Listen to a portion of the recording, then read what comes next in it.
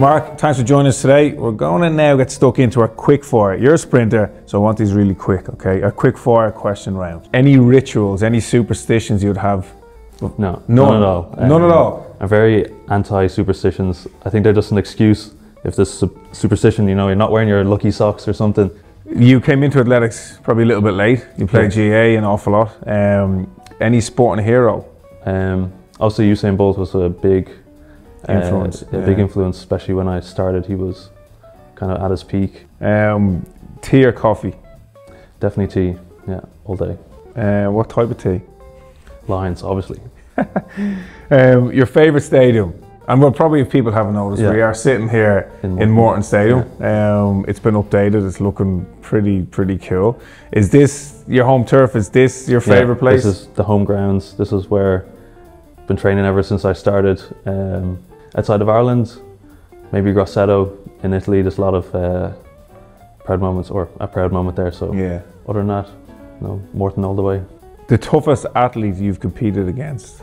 Marcus has always been very good nationally. Um, Marcus Lawler. yeah, Marcus Lawler was when I started. He was he was the one, and he would have been almost like a role model. You know, he was the one that you wanted to be. Away from the sport, because obviously you, you, you train hard, and you train quite regularly, um, couple of days off, but outside of all that, how do you get away from the sport? Any kind of hobbies? I know you're looking at the cameras here going like, ooh, Yeah, they're yeah. nice.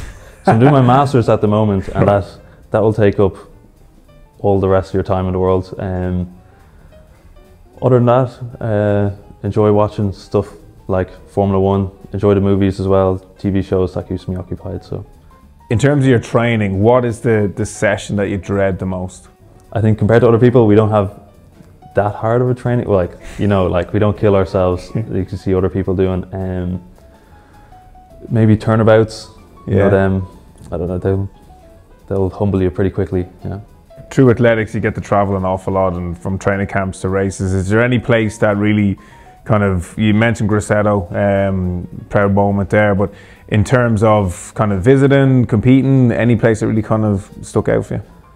Um, Belgium Oordegem has always been one. Um, that's such like a. It's like you pick up the entire athletics community and drop it in. Your ru- rumor is they chartered their own flight over there.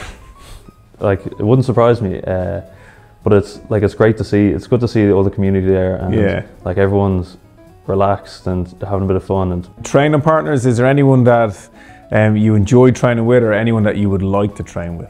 I've always wanted to train with someone like Andre De Grasse. That would be that would be cool. Um, Lyles, obviously, someone like a really good 200 meter runner to push me. I could do the sport just just to train. Yeah, like yeah, uh, if there was no racing, I would be wouldn't be bothered. But on the same, I think I've gotten over the nervousness of showing up for a race or like I I really don't care who I'm going against. It's probably the thing, one of the biggest things that holds a lot of kids, kind of teenagers and stuff like that, back when it comes to athletics.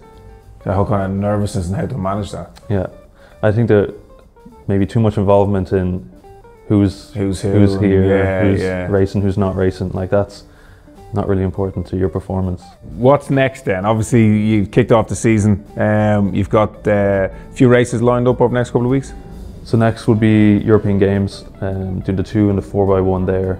Uh, other than that, looking at Morton Games, AI Games, and then just the lead up to nationals. Then Yeah, so it's going to be a busy summer. exactly, yeah, And the confidence of indoors, you must be looking forward to this summer. yeah. It certainly gets reset at the start of every season. So at the end of indoors and the start of outdoors, it kind of like you need to you need to do it again. You need to prove yourself Yeah. again. Um, so there's a bit of confidence, but not not egotistical. Mark, thanks for joining us today. Some great answers in there, and we wish you all the very best for the upcoming season. Cheers, David.